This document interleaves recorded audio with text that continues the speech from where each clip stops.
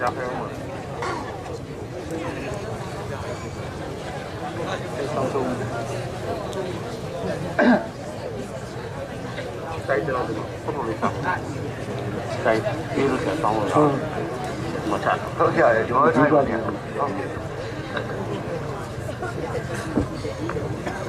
ဒီချိန်လောက်ထီအောင်ရင်းနဲ့ခံပြီးတော့နားထောင်ကြတဲ့အတွက်တော်တော်ကျေးဇူးတင်ပါတယ် ခုချိန်မှာဘုန်းကြီးလည်းမဟုတ်ဘာသာရေးလည်းမဟုတ်အဲ့လောက်ထီအောင်နားထောင်ကြတော်တော်ကျေးဇူးတင်ဖို့ကောင်းတယ်ကျွန်တော်တို့ကလည်းနိဗ္ဗာန်ရောက်ကြောင်းတရားဟောမှာမဟုတ်ဘူးအဲ့တော့ခမည်းတော်ကခုဒီရွှေဘုံတရားနည်းနည်းဘဝင်မြင့်တယ် ကုန်းမောင်ဆက်ကိုထူထောင်ခဲ့တဲ့အလောင်းဖျားနယ်ကိုဟိုးရွှေဘုံဖြတ်လာတဲ့ခါကျအလောင်းဖျားရုပ်တုကြီးကလည်းအကြီးကြီးပဲခမည်းတော်ကဘဝင်ကနည်းနည်းမြင့်တယ်ကုန်းမောင်ဆက်ကိုထူထောင်ခဲ့တာပေါ့ဆိုတော့ခမည်းတော်ဘဝင်မြင့်နေတဲ့ကိစ္စကိုကျုပ်ကပြန်ပြောတော့မယ်ကျွန်တော်တို့တိုက်ပြီးကြုံဖြစ်တာဘာကြောင့်ဖြစ်တယ်လဲဆိုတော့ခင်ဗျားတို့ကုန်းမောင်ဇက်က ရှင်မင်းကြီးညံ့လို့ကြုံဖြစ်သွားတာ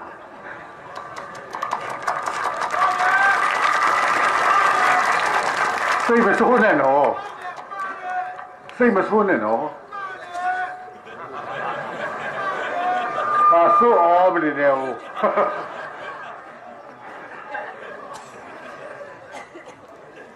ကျွန်တော်တို့ကကုန်းမောင်သက်ရှင်မင်းတွေကတကယ်တော့ပါတယ်တကယ်ကိုယ်လည်းတတ်တီကောင်းတယ် တကယ်လည်းစွမ်းရည်ရှိတယ်သို့တော်လည်းကျွန်တော်စိတ်မဆိုးနဲ့ဗျာဟုတ်လားအချင်းကျယ်လွဲကုန်တယ်အချင်းကျယ်လွဲတာကမျက်စိအချင်းပြီးဟိုရင်းကကျဲနေကြ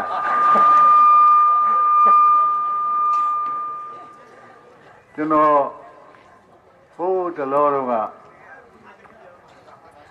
အံ့ကျော်ဆိုတာကျွန်တော်တငယ်ချင်းမှာ အံ့ကျော်ကြီးလို့ပဲကျွန်တော်ခေါ်တယ်။သမိုင်းပါမောက္ခမော်လ်ဘိုင်ကောလိပ်မှာလို့ဆိုတော့သူကရွှေတော်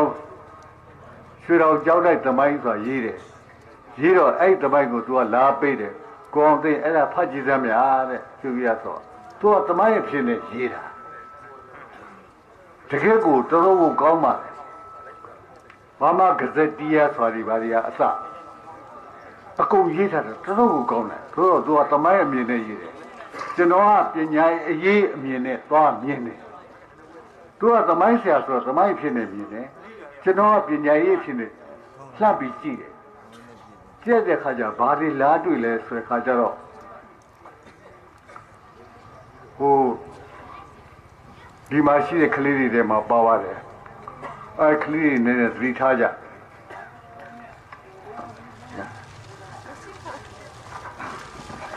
လေးတွေနဲ့သတိထားနားထောင်ကြဘယ်နဲ့ဖြစ်လဲလို့ဆိုတော့ကျွန်တော်သွားတွေ့တဲ့ဥစ္စာကလေးတွေအထူးသဖြင့်သမိုင်းကိုယူရကလေးတွေသတိထားနားထောင်အဲ့ဒါမှဘာသွားသွားတွေ့လဲဆိုတော့ဒီရပြောမယ်နော်သိချာယူဆိုင်နော် နည်းနည်းလေးညစ်နေလာပြီဒါမဲ့လို့နည်းနည်းလေးအလေးနဲ့လေးပြောပြရသေးဗမာပြည်ကိုအင်္ဂလိပ်ကသိပ်ပတ်ခဲ့တဲ့အခါမှာ 3M ဆိုရှိတယ် 3M ဆိုတာ M သုံးလုံးပေါ့အဲ့ဒီ M သုံးလုံးကဘာလို့ဆိုတော့ first M ကဘာလို့ဆိုတော့ military စီရေး merchant စီးပွားကုန်သွယ်ရေးနောက် third M ပေါ့နောက်ဆုံး M ကပါဆို missionary လို့ခေါ်တဲ့သာသနာပြုရေး ပြောရင်ပြောရင်နည်းနည်းစိတ်ကထက်သန်လာပြီ military လို့ခေါ်တဲ့စီးရေး merchant လို့ခေါ်တဲ့ကုသရေးဝေးနောက်တစ်ခါ missionary လို့ခေါ်တဲ့သာသနာပြုရေးအဲ့ဒီသုံးခုမှာဘာကြံသေးလဲလို့ပြောရတယ်ဒီတဲ့ကြံတဲ့ဆိုတာ military မရှိတော့ဘူး merchant မရှိတော့ဘူးအင်္ဂလိပ်အရေးရှင်မရှိတော့ဘူးအကုန်လုံးကုန်ပြီဘာကြိုင်းခဲ့တယ် missionary ကြိုင်းခဲ့တယ်သာသနာပြုရေးကြိုင်းခဲ့တယ် အဲ့တော့ဒီကလေးတွေကိုကျွန်တော်မေးကြည့်တယ်ဘာကြိုင်းခဲ့တယ်ဆိုတော့သုံးခုမှနှစ်ခုတစ်ခုပဲကြိုင်းခဲ့တယ် missionary missionary ဆိုတာဘာလဲဆိုတော့သာသနာပြုရေးအဲ့တော့ missionary ဘာကြောင့်ကြိုင်းခဲ့လို့မေးတဲ့ခါကျကလေးကဘာပြောလဲဆိုတော့သာသနာမဟုတ်လို့ပေါ့ဆရာလေဟာမင်းသာသနာပြုရေးဘာသာပြုရေးဆိုတာလွယ်တယ်စင်လားဒီနေ့ဗုဒ္ဓဘာသာနောက်တစ်နေ့ခရစ်ယာန်ပြောင်းဆို1 2 3 ash လောက်ဆိုပြီးရတာမဟုတ်ဘူးကွာ ပြောင်းတာမဟုတ်ဘူးကွာ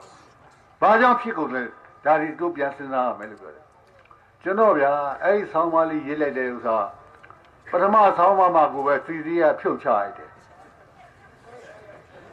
အဲ့တော့ဘာတတ်နိုင်လို့ကျောက်ကစီစီကဖြုတ်လိုက်တဲ့ခါကျတော့ဖြုတ်ပေါ့ကျုပ်ကကျုပ်ဆက်ရေးတယ်ခုကတော့ဆက်ရေးနေတယ်ကျုပ်က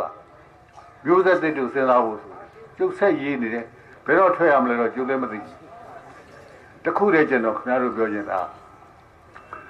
ကိုလောကဟာပြန်ကောက်အောင်အဲ့ဒီအန်ယောကြီးရေးတဲ့ရွှေတောင်ကြောက်တိုက်သမိုင်းဆိုတာဘာပါလာလဲဆိုတဲ့ခါကျတော့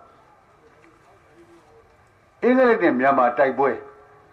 အဲ့တိုက်ပွဲကြီးထဲမှာဖြစ်တဲ့အကြောင်းအရာတွေပေါ့စစ်တိုက်ပွဲတွေကျွန်တော်မပြောချင်ဘူးပြောချင်တဲ့ဥစ္စာဘာပြောချင်လဲဆိုတော့1800နဲ့26ခုနှစ်မှာအင်္ဂလိပ်ကစစ်နိုင်သွားတယ် တိုင်းသွားတော့ရန်ဒဘိုးစာချုပ်ခင်ဗျားတို့သိပါတယ်ရန်ဒဘိုးစာအဲ့စာချုပ်1800နဲ့26ခုအင်္ဂလိပ်ခုနှစ်ပဲကျွန်တော်ပြောတော့ဗမာခုနှစ်ကျွန်တော်မှတ်မိတော့1826ခုနှစ်မှာအဲ့ဒီရန်ဒဘိုးစာချုပ်လုပ်တယ်ဒီချက်လို့လည်းလားတော့နော်1829ခုနှစ်မှာဘာလုပ်တယ်ထင်တော့ Justin Boy School ဆို ရယ် Justin ယောက်ျားလေးကျောင်းစာထောင်တယ်အဲ့ဒီမှာခရီးတွေကျောင်းသွားတယ်လာပိုင်းပဲကွာတယ်တော့ဘာကြောင့်ကြောက်တယ်လဲအဲ့ကျောင်းကိုသွားတဲ့ဥစ္စာခရိယံဖြစ်ချင်လို့လားဆိုတာမဟုတ်ဘူးပညာတတ်ချင်လို့ဘာပညာတတ်ချင်တာလဲကျုပ်ကဒီသမိုင်းကိုပြောတဲ့အခါမှာနော်အာမနာရဘူးနော် သမိုင်းကိုပြောတဲ့အခါမှာဟိုလူမျက်နှာထောက်ဒီလူမျက်နှာထောက်ထောက်နေလို့ရှိရင်အနာဂတ်ကိုသစ္စာဖောက်ရရောက်တယ်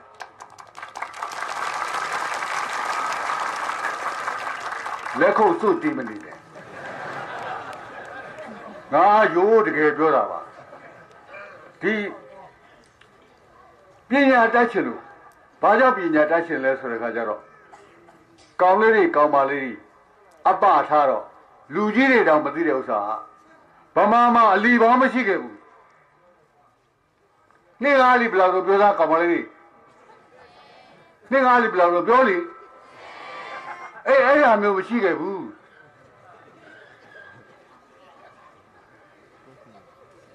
ဘာရှိတယ်ထင်တော့ငါတို့ဖုံးတော်ကြီးကြီးပါလားမပါလားမသိဘုန်းကြီးကျောင်းပညာကြီးပဲရှိတယ် ဘုန်းကြီးကျောင်းပညာကြီးကဘာလဲဆိုတော့နားထောင်တော့ပညာရေးနေကြခြင်းရဲ့ဟာကြုံဖြစ်ခြင်းရဲ့အကြောင်းရင်းဆိုတာငါပြောချင်တာကျွန်တော်အားလုံးကျွန်တော်ရဲ့အသက်ကြီးတဲ့လူတွေလည်းပါပါလိမ့်မယ်ကျွန်တော်အသက်84နှစ်ရှိပါပြီတခါကြီးကမင်းလည်းငါနဲ့ပြောတဲ့ဥစ္စာကိုကျွန်တော်ခွင့်လို့ပါဘာကြောင့်လဲဆိုတော့ကလေးတွေကိုကျွန်တော်ပြောချင်တာဘာလို့ဆိုကလေးတွေပဲကျွန်တော်တို့ရဲ့မျှော်လင့်ချက်တွေပါ လူကြီးတွေကမျှော်လင့်ရမရှိတော့ဘူး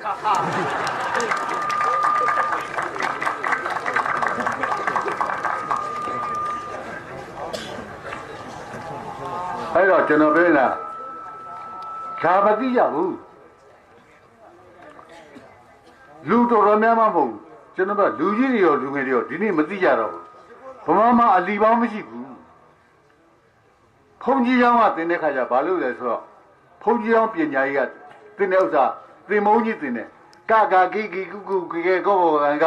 ကာယေကတကေရပါချက်ဟာကာယေရယေချက်ဟာဒါရင်းနဲ့သွားနေတာအဲ့ဒီဥစ္စာတစ်နှစ်လောက်ကြာတယ်ဖုန်ကြီးကျောင်းပညာရေးကအဲ့ဒီအလီပေါင်းမရှိတဲ့ခါကျတော့ဘယ်သူတွေမှသိလဲဆိုတော့ဘုန်းကြီးအောင်မှဘယ်တော့မှဘီရင်ဝါဒနာပါတဲ့ဘုန်းကြီးမှအလီတတ်တယ်ဘယ်လိုကြက်တယ်လဲသိလားဒွေဒွေစတုဟာဒွေဒွေစတုဆိုတာနှစ်နှစ်လီလေးတဲ့ အဲ့ဒါဘီရင်ဝါဒနာပါမှအမေမေတခုတော့အောင်သိမေတခုနေတပါညာဆိုတဲ့ခါကျတော့အဲ့ဒီဥစ္စာခုတစ်ခုစားရှိခုစားစစားစားပြီးတော့အောင်လာသူစစ်သူကြီးပွဲဟာမင်းဟာမြရာဇာတကုံဘွားဒါနဲ့သွားမှသိတာသိတဲ့ခါကျတော့ဥပမာဆိုနောဧကနောနောဝတွေထာရတနောဧကနောဆိုကုရလီကိုတဲ့နောဝတွေထာရတကိုနလီဆက်ရှိတဲ့ဒါပဲအဲ့လိုသိတဲ့ခါကျတော့ဘယ်နဲ့ဆို ဘုန်းကြီးတောင်မှဘေးရင်ဝါသနာပါတဲ့ဘုန်းကြီးမှအလီပေါင်းကိုတတ်တယ်ကောင်းပြီဆက်ကြအောင်နော်ကျွန်တော်တို့ခမရတို့ရွှေဘိုသားတွေကုန်းမောင်သားတွေညံ့မုံပြောမလို့အဲ့ဒီဖြစ်တဲ့ခါကျတော့အောက်ဗမာပြည်မှာဘာဖြစ်သွားလဲဆိုတဲ့ခါကျတော့အင်္ဂလိပ်နဲ့စစ်ဖြစ်ရောစစ်ဖြစ်တဲ့ခါကျဟိုကသင်းမောတွေနဲ့လာတာအမြောက်တွေနဲ့လာတာဒီကအမြောက်တွေနဲ့လာပါရဲ့ ခမရတို့ဒီမှာရှိတဲ့ပေါ်တူဂီတပ်တွေဟုတ်လားဟိုရွှေဘိုဘက်မှာရှိတဲ့ပေါ်တူဂီတပ်တွေခုတည်းကကလားရွာတွေရှိပါတယ်အစ္စလမ်ရွာတွေရှိပါတယ်သူတို့တွေသွားဟိုကအမြောက်ကသိတ်ကြီးလာပြီအဲ့ကြတဲ့ခါကျရှုံးတဲ့ခါကျတော့ထားလိုက်တော့ကျွန်တော်စစ်ရှုံးစစ်ရှုံးတာတွေနိုင်တယ်ကျုံမပြောချင်ဘူးပြောချင်တာပညာရေးကိုပြောချင်တာခုနကပြောတဲ့ထောင်တရားခုနပြောတဲ့ဟိုဘာတော့ဟို 1826ခုအဲ့ဒီမှာရန်တဘောစာချုပ်ထုတ်ပြီးတဲ့ခါကျတော့လက်မှတ်ထုတ်လိုက်ရတော့ဘာပါသွားလဲဆိုမော်ရမန်အပါဝင်ဟိုးတနင်္လာကြီးကအင်္ဂလိပ်ပူပြီးလိုက်ရတယ်ရခိုင်ပြီးလိုက်ရတယ်ဒီဟာပဲကြံခဲ့တယ်ရန်ကုန်ပဲကြံခဲ့ခဲ့တယ်အထက်မှာပြီးကြံခဲ့တယ်ရန်ကုန်ကြံခဲ့တယ်အောက်မှာပြီးကြံခဲ့တယ်အထက်မှာပြီးကြံခဲ့တယ်မပါသေးဘူးနော်ပထမစိတ်ပွဲအဲ့ဒီမှာသွားနေတဲ့ခါကျတော့အလီပေါင်းကိုသင်ရတာ အလီပေါင်းကိုသင်တဲ့ခါကျဘာလျောက်သင်ရဆိုဘယ်တော့မှပြောတယ် Justin Boy School ကိုခေါ်တဲ့ Justin ယောက်ျားလေးကျောင်းမှာဘာကြောင့်ကြောင်းထားသလဲဆိုတော့ရုပ်တရက်ပြောရတဲ့ခါကျတော့ဘာပြောဆိုဒီသာသနာပြုတာမဟုတ်လို့ဘာလို့လဲမဟုတ်ဘူးပညာရေးကြောင့်ဘာကြောင့်ပညာရေးလဲဆိုတဲ့ခါကျတော့ခမည်းတော်ပြန်တွေ့ကြည့်အဲ့ဒီအချိန်မှာသူကမော်လမြိုင်တို့ရခိုင်တို့ကပင်လယ်နဲ့ဆက်နေကဘာနဲ့ကုန်ကူးနေဟိုကအိန္ဒိယကုမ္ပဏီက တစ်ကုမ္ပဏီကလိုချင်လို့တစ်လာတယ်တစ်လိုချင်လို့လို့ဗမာပြည်လာတဲ့ခါကျတော့အိန္ဒိယကုမ္ပဏီကဘာလို့လာတယ်ထင်လို့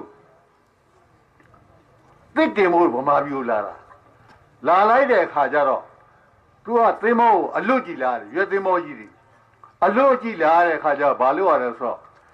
ကြောက်ခဲတွေတင်လာတယ်သင်္ဘောမလူအောင်လို့ဟာဟာကြည်ခွဲဖို့တော်တော်ကောင်းတယ်ကြောက်တုံးကြီးတွေတင်လာရတာ အဲ့ဒီကြောက်တုံးကြီးတွေကိုဗမာပြည်ရောက်တော့မှချမော်ရမဲစိတ်ကမှချချပြီးတော့မှသိတည်ပြီးပြန်တော့မှအဲ့ဒီကြောက်တုံးကြီးတွေကိုခုထုတ်ပြီးတော့မှအဲ့ဒီမှာလမ်းခင်းရကောင်းမှသိတာကျုပ်တို့ကဒါတကယ်ဖြစ်ဖြစ်ဒီပြောကျင်တာကအဲ့ဒီမှာသွားတင်တဲ့ခါကျတော့အဲ့ဒီကလေးတွေကခရိယံကျောင်းမှာနေတဲ့အတွက်ကြောင့်မလို့ခရိယံဖြစ်သွားတာဆိုမဖြစ်ပါဘူးဗျာဘာမှမဖြစ်ဘူး ပြည်ရန်ရောက်သွားတင်တာပြောကျင်တဲ့ဒီဗျာဘယ်လောက်ထိအောင်ဖြစ်လဲဆိုတော့အဲ့ဒီ1800နဲ့26 29 34ခုနှစ်ကျအရှိအိန္ဒိယကုမ္ပဏီဆိုတာကြောင်းထောင်တယ်အရှိအိန္ဒိယဆိုတာကြောင်းထောင်တယ်ဆိုတာခင်ဗျားတို့ကြောင်းထောင်တယ်ဆိုတဲ့ကကြောင်းဖွင့်ပေးလိုက်တယ်ဆိုတာကြတော့ပညာတက်စီခြင်းလို့မထင်နဲ့သူတို့ခိုင်းဖို့လို့အတွက်လူရှာတာ သူတို့ခိုင်းလို့ရအောင်လို့ပညာသင်ပေးတဲ့ဟာဒါပဲအဲ့လိုနေတဲ့ခါကျတော့မှကျွန်တော်နာမည်တောင်မိတ်တီဖြစ်တယ်ဖာသာဖာဘက်အဲ့ခရိယာဘုန်းကြီးကြီးကတိတ်တော်တာပဲတိတ်တော်တဲ့ခါကျအဘောင်းဆိုတရုတ်နဲ့မောကဗျာအဲ့ဒီကောင်လေးကိုတိတ်ချစ်တဲ့ခါကျအဲ့မှာနှစ်ချင်းသာသနာပေးတာပေးတဲ့ခါကျ အဲ့နှစ်ချင်းသာသနာပေးတဲ့ကိစ္စမှာအဲ့မော်လမြိုင်မှာရှိတဲ့ဗုဒ္ဓဘာသာတွေကိုလုံးရတယ်ဒါဟာဗုဒ္ဓဘာသာကိုဖျက်တာပါပဲဆိုလို့တော့အဲ့ဘုံကြီးထွက်သွားတယ်ဝိုင်းအော်လို့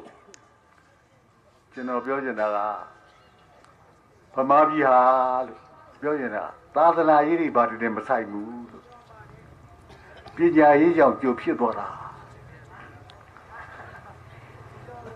ဒီနေ့ရတော့မထူးတော့ပါဘူးဗျာပြီးတော့မှ ကားရောက်မှကြည့်ရှင်မယ်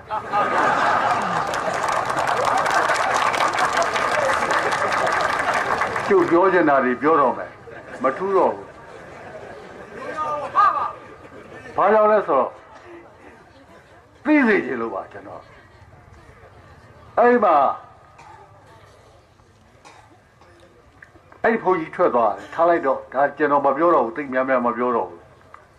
အဲ့ဒါနဲ့နေတဲ့ခါကျတော့ ဒါဖြစ်ရင်ကောဆိုတော့ပညာရေးကြတော့ကောင်းပြီပညာရေးတွေမကပဲနဲ့ကျန်တဲ့ဟာတွေပါပြောတော့မယ်ဗျာကျွန်တော်မပြောဘူးလို့နေတာအင်္ဂလိပ်စစ်တပ်ကအုပ်ချုပ်တော့အဲ့ဒီအချိန်ကမှဘယင်ကကဘယ်သူထင်လဲကာလကတာမှာရှိတဲ့ဘယင်ကဒီလိုဘယင်ကဆိုရဲပြောလို့မယ်ခင်ဗျားတို့က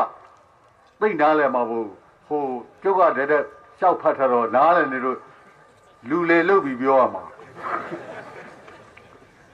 ကာလကတာဘယင်ကရှိတယ်အဲ့တော့အိန္ဒိယပြည်ကြီးတစ်ခုလုံးကအင်္ဂလိပ်အောက်ရောက်တယ်အဲ့တော့ဘယင်ကကာလကတာဘယင်ကဟိုဘိုးဘေးဘယင်ကဘယင်ကနေကိုလို့ပြောဘယင်ကနေရဲ့အချုပ်ကြတော့မှဒေလီမှာရှိတဲ့ဘယင်ကကျုပ်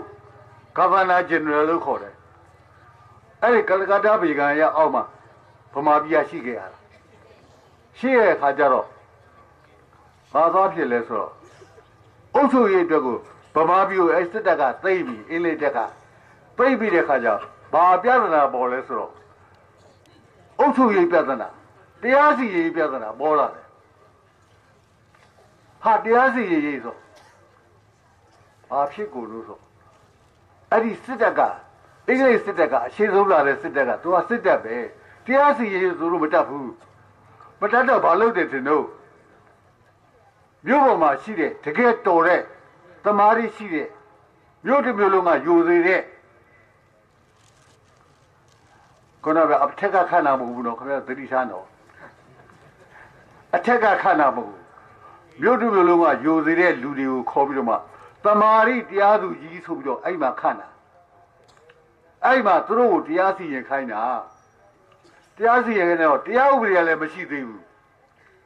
Indian Code တို့ခေါ်တဲ့ခုခင်ဗျားတို့ပြောတဲ့အိန္ဒိယရာဇသကြီးပါကြမရှိသေးဘူးဒါမဲ့ဗမာပြည်မှာရှိတဲ့ဗမာလူမျိုးတွေအကုန်လုံးကယိုသေးတဲ့တမာရီရှိပါတယ်လို့ယုံကြည်တဲ့လူတွေကိုတရားသူကြီးခန့်နေဟာသိတ်အော်ဘုကောင်းတယ်အဲ့ဒီအမှုထဲမှာကျုပ်သုံးခုလောက်ကိုပြောပြပါစီတဲ့ချပုံကိုပြောတာ တမှုကလင်မယားနှစ်ယောက်ကခဏခဏရံဖြစ်တယ်တော်ကြရဲ့အမှုကရောက်လာလိုက်ရင်တော်ကြရဲ့ရံဖြစ်ရင်တော်ကြထူးလိုက်ရလိုက်ရံဖြစ်ပြန်ရောက်တဲ့အခါကျနောက်ဆုံးမကြတော့တမှုနှစ်မှုတစ်ချိန်နှစ်ချိန်သုံးချိန်ရောက်တဲ့အခါကျတော့ဘာလုပ်တယ်ထင်လို့အမှုစီရင်ချက်ကအေးလင်မယားသည်ခဏခဏရံဖြစ်သည်တဲ့ထို့ကြောင့်တဲ့ခဏခဏရံဖြစ်သည့်အတွက်အပြစ်စီသောကြောင့် မြို့ပေါ်မောင်းကျော်ပြီးလှဲစီဆိုတော့ဟာခမမောင်းတိပြီးလှဲတာဤလင်မယားနှစ်ယောက်သည်ခဏခဏရံဖြစ်ပါကြောင်းဒူးဆိုပြီးခမအဲ့အဲ့စီရဲ့ကိုခမမတရားဘူးပြောမလားဥပဒေလို့လည်းပြောလို့မရဘူး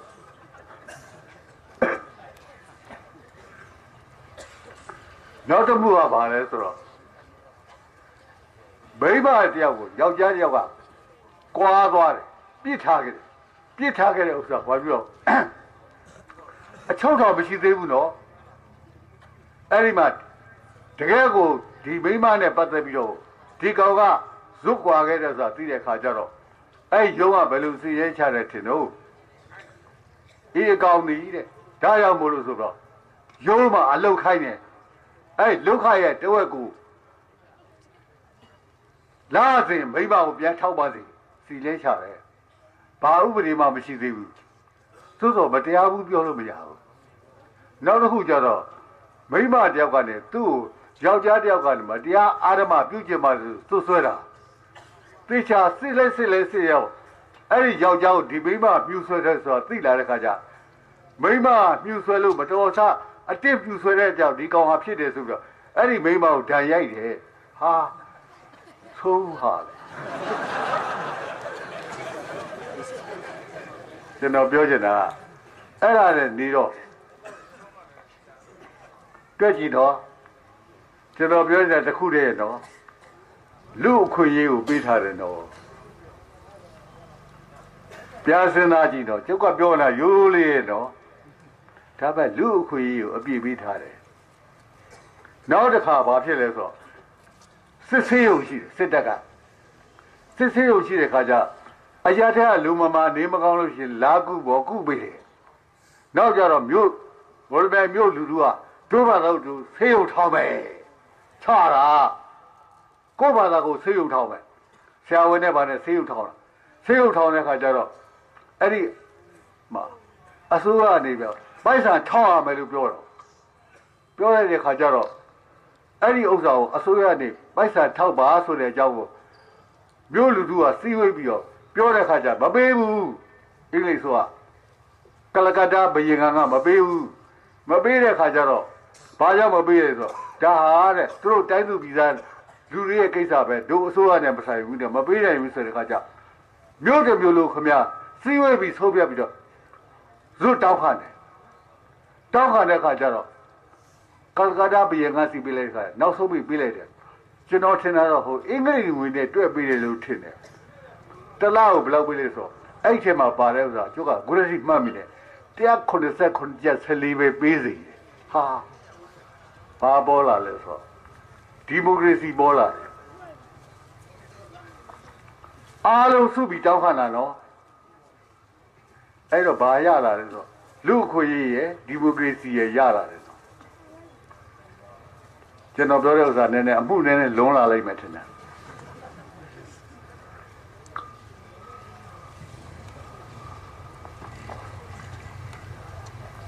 ကောင်းပြီဆက်ပြောကြစို့နည်းနည်းသိခန္ဓာထောင်နော်နည်းနည်းလေးနဲ့လာလိုက်တာခလေးတွေကိုအသာထားလိုက်တော့ကျွန်တော်ပြောချင်တာ အဲ့တော့မှတရားစီရင်ရေးမှာဘာဖြစ်လာလဲဆိုတဲ့ခါကျတော့တောက်ကြအင်္ဂလိပ်အုပ်ချုပ်ရေးဝင်လာပြီဝင်လာတဲ့ခါကျတရားစီရင်ရေးမှာတကယ့်ကိုတရားဥပဒေနဲ့ကိုစီရင်တာစီရင်တဲ့ခါကျတော့တရားသူကြီးကလည်းအင်္ဂလိပ်ဥပဒေကလည်းအင်္ဂလိပ်ရှေ့တွေကလည်းအင်္ဂလိပ်လိုဖြစ်လာဖြစ်လာတဲ့ခါကျဘာပြောလဲဆိုတော့ ဗမာလိုတက်တဲ့ကောင်ကစကားပြန်ပြန်အင်္ဂလိပ်လိုတက်တဲ့ကောင်ကစကားပြန်ပြန်အဲ့မှာစကားပြန်ရဲ့တရားစီရင်မှာအမှုတစ်ခုဖြစ်လိုက်ပြီဆိုလို့ရှိရင်တရားသူကြီးကအင်္ဂလိပ်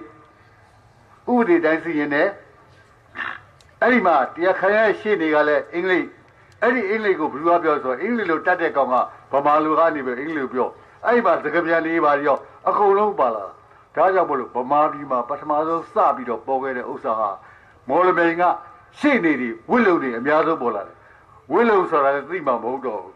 ဟိုခမရတို့လည်းသိမှာပေါ့ခလေးတွေတော့မဟုတ်မသိမှာပေါ့ဝစ်လုံဆိုတဲ့ခါကျဒီခေါင်းတို့ခေါ်တဲ့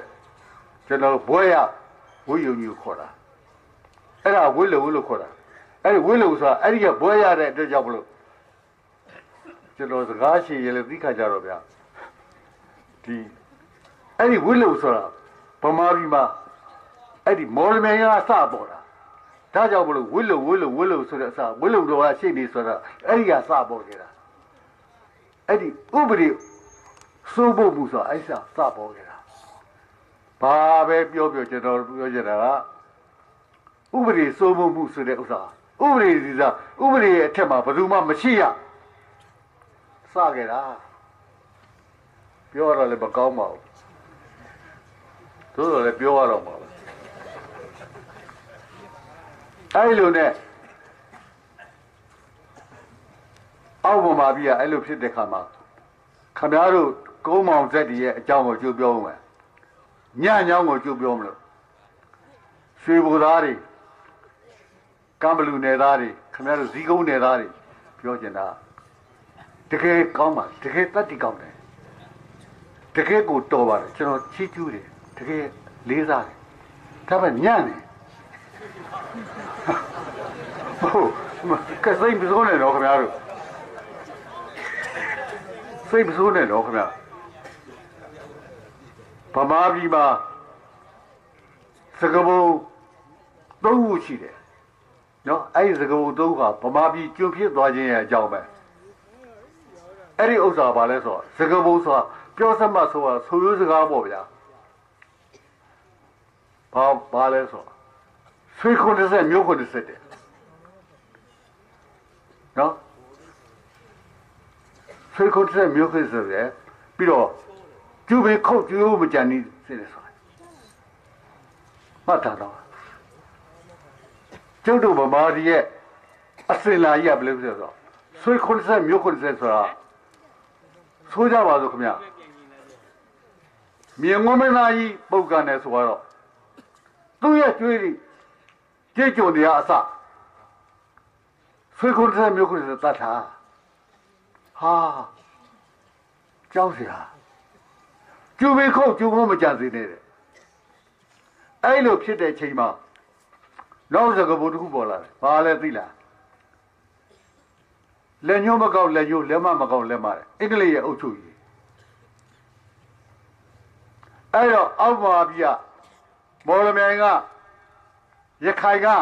အင်္ဂလိပ်အောက်ရောက်နေအင်္ဂလိပ်ရဲ့အုပ်ချုပ်ရေးကလက်ညှိုးမကောက်လက်ညှိုးလက်မမကောက်လက်မ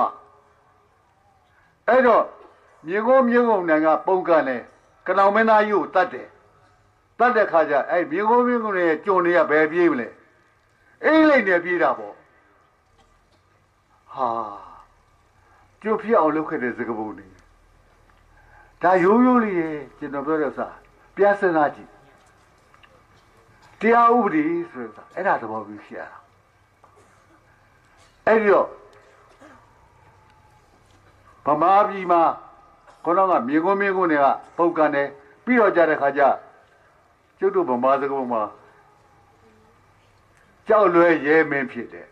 သေပြေကြီးရှိရွှေထီးတယ်ဟာကြောက်လွဲရဲမင်းဖြစ်ကြောက်လို့ရှင်ပြီးတော့ရဲမင်းဖြစ်ရှင်မင်းသက်ရင်ရှင်မင်းဖြစ်တယ်လေဟာ သေပြေကြီးရှိရွှေထီးတယ်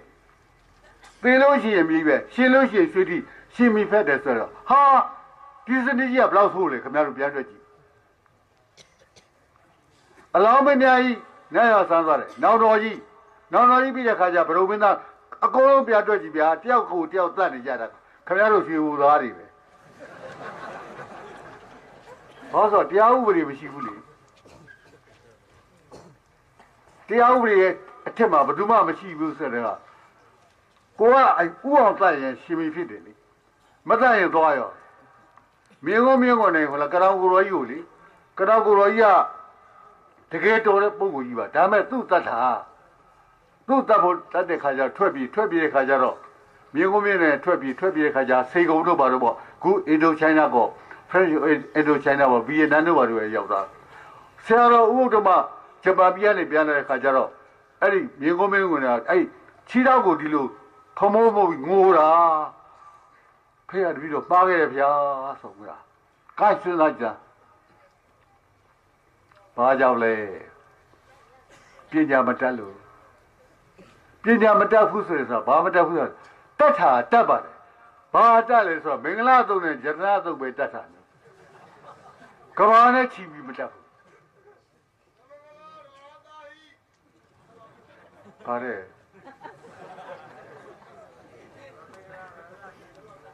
မဟုတ်ကျွန်တော်ပြောတာတကယ်ပြောတာ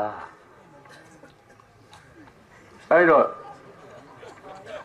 ပြပြောတော့ပဲဘုန်းကြီးတွေဘာတွေပါလာလဲမသိတော့ပါလဲမတတ်နိုင်တော့ပြီးတော့မှရိုက်ချင်လဲခံမှုပဲဘုန်းတော်ကြီးတွေရဲ့ပညာရေးကျောင်းကခုနကခရိယန်တွေရဲ့ပညာရေးကျောင်းကိုမမိဘူး ဒါတောင်မှဘလောက်ထိအောင်ကျွန်တော်ရဲ့ဘုရားဘာသာခိုင်မြဲတယ်လေဆိုတော့ကျွန်တော်ပြောလိုက်အောင်မယ်နော်ဒေါ်မဲမဆိုသိချမ်းသာတယ်မိမပထမရန်ကုန်မှာနေတာတငယ်မှာရေလံရောင်းနေတာနောက်ကြတဲ့ခါကျဒီမိမကြီးကဘာဖြစ်သွားလဲဆိုတော့ရန်ကုန်မှာတိုက်ပွဲတွေဖြစ်တဲ့ခါကျထွက်ပြီးတော့မော်လမြိုင်ရောက်သွားမော်လမြိုင်ရောက်သွားပြီးတဲ့ခါကျတော့မှအဲ့ဒေါ်မိမသိချမ်းသာတော့ ဘယ်လိုချမ်းသာလဲဆိုတော့ဘာမှလုံးစရာမရှိတော့ तू ကသိဖောင်နဲ့တန်လွင်မြစ်ကမျောလာတဲ့သစ်တီကိုရောင်းတဲ့ကောင်တွေကိုထမင်းကျွေးတဲ့ဆိုင်ဒါမဲ့တဲရခိုးစရာဒီလိုတော့ဓနီရောလေးပါဒီဟာဓနီဟာတဲလေးပါနဲ့လုတ်ပြီးတော့ပေးရင်ကလည်းချမ်းသာတော့ဒုံမဲမှာခမရကျုပ်တို့တဲ့ဝေစုထဲပါလားရှယ်ယာဝင်ပါလားဆိုတော့ငွေ45ကျပ်ပဲထည့်နိုင်တယ်နောက်ကြတော့အဲ့မိမကြီးကသိချမ်းသာသွားတယ် ဘလောက်ထအောင်ချမ်းသာတယ်ကျွန်တော်မပြောနိုင်ဘူးတနေ့ကြတဲ့ခါမေလူမကြီးစီတက်လာတယ်ဟာမေလူမကြီးဆိုသင်မောနဲ့အချွေရနေနဲ့တက်လာတာမိမတွေကဖော်ပွားတွေအကုန်လုံးနဲ့တက်လာမင်းတို့မကြီးစီကိုငါ6တွေဘာတွေပါအောက်ဖစ်မှာကျဒုံကြောက်တွေပါနေနဲ့မင်းတို့မကြီးကိုဆက်တော့မင်းဘာလို့ရင်လဲလို့ဆိုပြီးတဲ့ခါကျဖះပြီးတော့မှကျွန်တော်မျိုးမှဘာမှမလုပ်ချင်ပါဘူးဖះတဲ့ကြက်တက်တဲ့ဗိရိကတက်တဲ့ ဆရာတော်တစ်ပါးကိုပေးပေးပါကြာရင်ခရိယာနေဖြစ်ကုန်မှာဆိုလို့ပါသာသနာတည်မြဲစေလို့ပါဆိုမင်းတို့မကြီးကဟိုင်းအဲ့လိုဆိုရင်တဲ့ငါသိဘာမှမပြောနိုင်ဘူးတဲ့စတုဂီရီလို့ခေါ်တယ်တောင်လေးလုံးဆရာတော်ရှိတယ်ဆရာတော်စီသွားပြီးတော့အဲ့စတုဂီရီဆိုခေါ်တယ်တောင်လေးလုံးဆရာတော်စီသွားတဲ့ခါကျတော့အဲ့ဆရာတော်ကြီးကငါအသက်ကြီးပြီမလိုက်နိုင်တော့ဘူးဆိုပြီးတော့မှသူ့ကိုတခါတည်းသူ့လက်ထောက်အဲ့ကျန်တဲ့ဆရာတော်ဒီမှာပြေးလိုက်တာ ကုရတိမော်ရမယ်မှာစတုဂီရီတဲ့ရှိတယ်ဗျာကုရတိအဲ့ကြောင်းကြီးရှိတယ် gain ဘယ်လောက်ထိအောင်ကျွန်တော်တို့ဗုဒ္ဓဘာသာမြန်လို့လဲအဲ့တော့မှခရိယန်ဘာသာသာသနာတွေကဘယ်နဲ့ဖြစ်လဲဆိုတော့ဗုဒ္ဓဘာသာကိုတုတ်ပလို့မရဘူးသာသနာပြုလို့မရနိုင်ဘူးဆိုတော့ပြီးတော့မှဗုဒ္ဓဘာသာမရောက်တဲ့ကျုပ်တို့ဘုန်းကြီးတွေကအဲ့ပြင်းနေတယ်ဆင်းရဲတာကိုမခံနိုင်ဘူး အဲ့တော့သူတို့မရောက်တဲ့ကရင်တို့ဘာလို့ဆိုတော့လက်ကိုးတဲ့နေရာတွေမှာသွားပြီးသာသနာပြုတာအဲ့မှာသင်္ကစားဆရာတော်ကြီးကဘာပြောလဲဆိုတော့မောင်ရင်တို့တဲ့သင်မျိုးတို့ဖြာတို့စုပ်လို့ရှိရင်ဘယ်ဟာစစုပ်လဲဆိုတော့အနာစုပ်ပါဆိုတာအနာဘာလို့လဲအနာကိုရပါတယ်ဗျာမင်းတို့တဲ့သာသနာကိုအနာကိုကြမကိုရင်သာသနာစုပ်လိမ့်မယ်လေဟာကောင်းလိုက်တဲ့စကားကျွန်တော်ပြောချင်တာက ဗမာပြည်ကြိုဖြစ်တာဘာသာရေးသာသနာရေးမှုပညာရေးကြောင့်ကြိုဖြစ်သွားတာအဲ့ပညာကိုဂုရချိကိုတန်ဖိုးထားအောင်မမသိဘူးပညာနဲ့ပတ်သက်မြစ်တဲ့မြောင်လို့ရမို့ဆိုဂုရတိလို့ရအောင်မမသိဘူးပညာရေးကတနေ့တခြားနေနေတယ်ခလေးတွေသိပါတယ်ဘာလို့တော့ဆရာမနဲ့ကြက်ဆိုကြက်ထားပဲအဲ့တော့ကြက်တော့အောင်သွားတဲ့ခါကျကြက်ဆယ်တန်းပေါ့ ဒါနဲ့ဒီတဲ့မြေဆိုကြက်ကြက်ကတူရောက်တော့အမှန်တည်းမြောကြက်မှုကြက်ကတူတို့ပါတော့တပီလုံးကြက်ဖြစ်ကုန်ပညာဆိုတာအဲ့ဒါမျိုးမဟုတ်ဘူးစဉ်းစားဖို့သင်ရတာ how to think ဘယ်လိုစဉ်းစားဖို့စဉ်းစားနည်းကိုမသိသမျှကလာဘလို့ပညာတက်တယ်ဆိုတော့ဘယ်တော့မှမသိပဲမရှိဘူးကျွန်တော်တို့ကအဲ့ပညာရောက်နေကြခဲ့တာ သိစိတ်ပြဖို့ကောင်းပါလေဗျာဒါတွေပြောရင်ကျွန်တော်ရင်းနဲ့နားနာပါလေဗမာပြည်ကြီးမှာအစစ်တန်းနူးလို့ပြင်မြင့်ညမ်းမှုတွေဖြစ်ပေါ်နေတာသေချာစွာစဉ်းစားလိုက်ရင်ပညာခြေကနဲ့လို့သာပါတီရေးကွဲဗျာအလွယ်လွယ်မှမှဖြစ်ပေါ်နေတာပညာပညာပညာမရှိလို့စိတ်နေမမြင်ကြတာဝမ်းနေစရာယခုခေတ်ကြီးမှာတွေ့နေရတာကလေးတငယ်များမှာဘာစကားစရရာသ ရိစာလျှောက်သီးစေးပြရေခဲကြောင့်နဲ့မြေပဲလောပါကြော်ရောဩကားရောက်နေရရှာရရမြမြကလေးများနဲ့ရောင်ရဲတင်တင်ပြောခြင်းကပညာပညာပညာမရှိလို့အခုလိုဖြစ်ရတာတိုင်းပြည်ကလွတ်လပ်ရေးရပါတယ်ဘယ်လိုလွတ်လပ်ရေးလဲဆိုတော့ပညာမတတ်တဲ့လူငယ်တွေရဲ့လက်ထက်ရောက်ခဲ့တဲ့လွတ်လပ်ရေး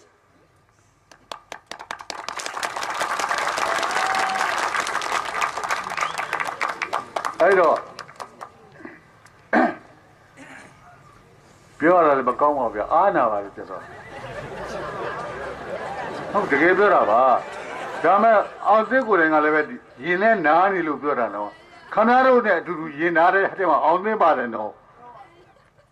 ဟုတ်လား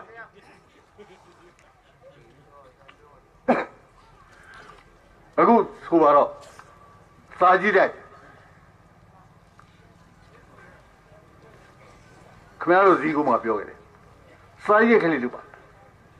စာရက်ကြတာဟောဘယ်နေရာပို့ထားမှာမသိဟုတ်လားခလေးတွေကြတဲ့ခါကျ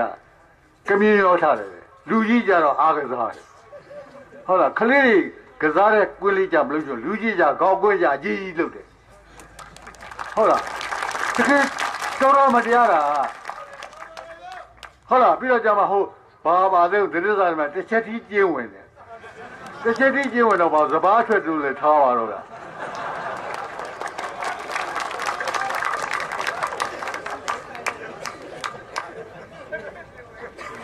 ခလေးလူငယ်တွေကိုကူးပစားလို့ရှိရင်အနာကဘယ်လိုလုပ်မလဲခေါတော့ဟိုကောင်ပြောတော့ပါတယ်ဟိုကျွန်တော်ပြောလူငယ်တွေကိုရွှေရှားမှအနာကတောက်ပါမယ်ဆိုတာခလေးတွေကြကူးပစားခလေးပညာရေးဘာလုပ်ပြီလဲ ဟုတ်လားကျွန်တော်တခုတည်းကျွန်တော်ခင်ဗျားတို့ပြောပြဘဝမှာအရေးကြီးဆုံးအချက်ကျွန်တော်လည်းဘယ်ရောက်လို့ရောက်မှလည်းမသိဘူးဗျာသိခန့်တော့ဗျာကျုပ်ပြောချင်တာရှောက်ပြောတော့မှာပါခင်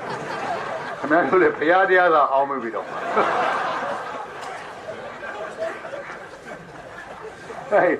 တောင်တွင်းကအောင်သေးဆိုတော့ယူကြကြပါကွာတောင်ပြောပြောပြောပြောဆိုပြောချင်တာပြောကြတော့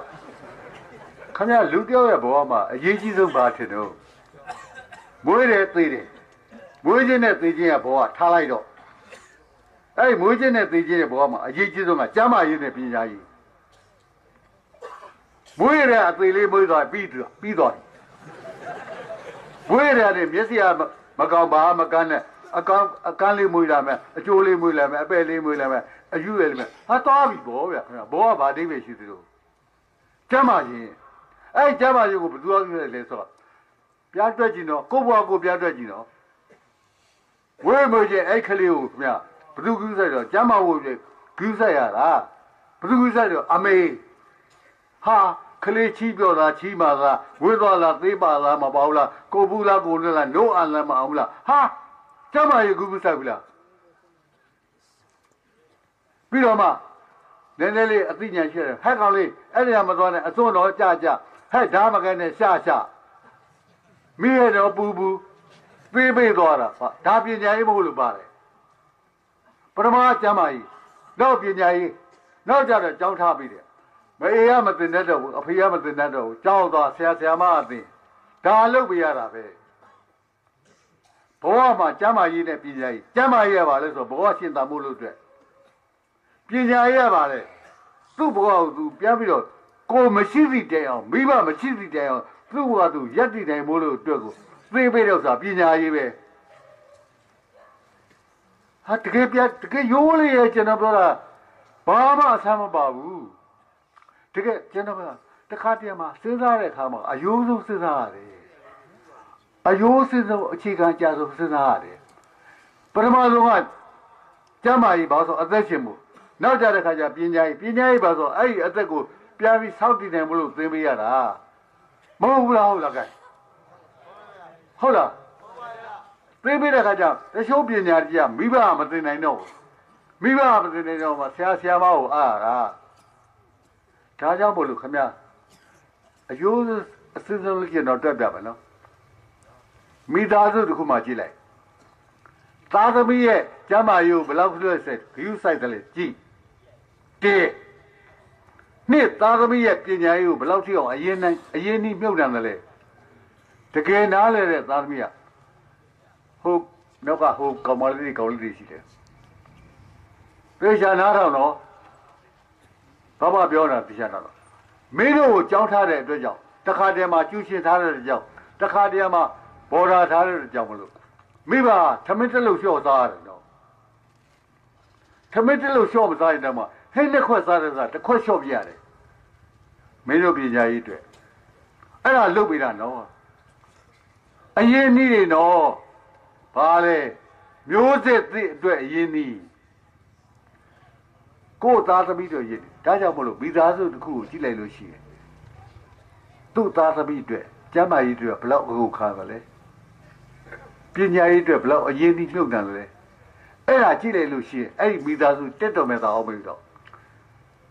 ကျမ်းမာရေးအတွက်လည်းအရင်ကြီးမြုပ်တယ်နဲ့နော်မိဘထမင်းတလို့လျှော့စားတယ်ပညာရေးအတွက်လည်းပဲဟိတစ်ခွက်လျှော့စားတယ်အဲ့ဒီမိသားစုတက်ပင်သာအောင်ပြီတော့အဲ့ဒီလိုပဲမြို့နယ်တစ်မြို့နယ်မှာကြည့်လိုက်လို့ရှိရင်မြို့တယ်မာယာကဘာညာမှာဒါကောင်းစီဘာညာပြောကြတယ်ကာကြီးခါဝေးတွေပေါ့ဗျာအဲ့သူတို့လူတွေကအဲ့မြို့နေရဲ့ကျမ်းမာရေးအတွက်ဘယ်လောက်လုပ်ပေးသလဲ ဒါဟာပတ်မှတ်ကြောက်ပဲအမတ်ရတော့မသိဘူးအခေါ်ကြတော့ကောက်တယ်ဆိုသွားတော့ဟုတ်တယ်လေသိဩမနေကိုလူကိုကရိုးပြောနေတာ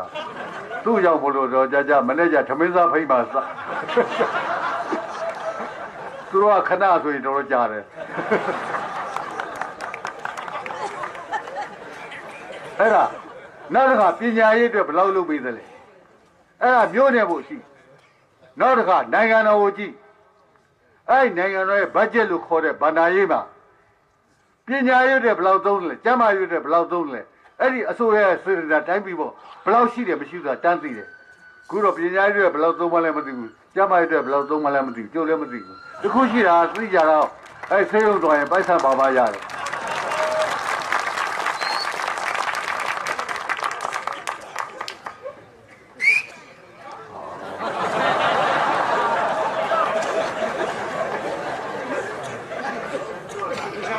အဲ့တော့ပြောချ က်ကျွန်တော်ပြောနေတာပညာအဲ့ဒီခုနဥစ္စာပြန်ပြီးဆက်ပြီးကောက်လိုက်လို့ရှိတယ်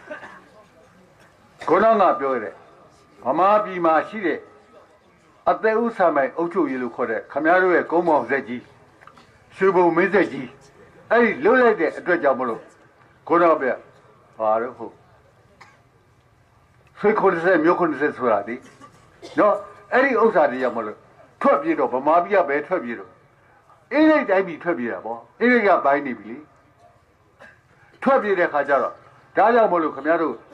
မန်းလေးနန်းတော်ထဲမှာကခဲ့တဲ့နန်းတွင်းယာမဇတ်တော်ကြီးကဘယ်ရောက်တော့ဖျားပုံဆရာတော်ကြီးကျွန်တော်ဆရာပါဆရာတော်ကြီးရဲ့ဖျားပုံယာမဆိုအကြီးဆုံးဖြစ်သွားတယ်ဟောဆိုနေပြည်တော်မှာမနေဝင်းတော့ဘူး